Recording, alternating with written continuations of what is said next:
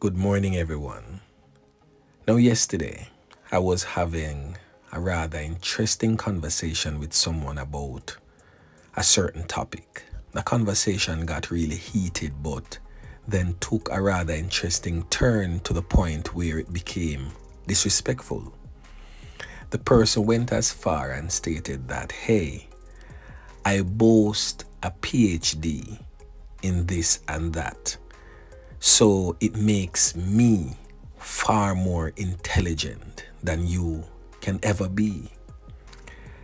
Now, note, this person doesn't know me personally. So they are assuming that I have a lesser educational background. So I just basically gave them the winnings and just ended the conversation. So this morning's message is for you and anyone out there like you. Now listen. Never ever confuse education with intelligence. You can have a PhD in whatever field and still be an idiot. You see, my friends, earning degrees and accumulating academic credential is a good thing. Nothing is wrong with that. But guess what? It doesn't necessarily mean that a person is wise, thoughtful, or able to navigate life challenges with good judgment.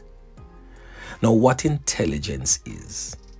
Intelligence is about critical thinking, adaptability, and the ability to apply knowledge meaningfully.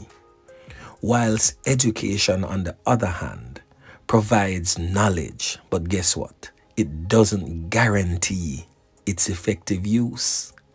So, in closing, my friends, a person can be highly educated, yet lack common sense, empathy, or insight, whereas someone with less formal education may possess greater wisdom and understanding of the real world that we're presently living in.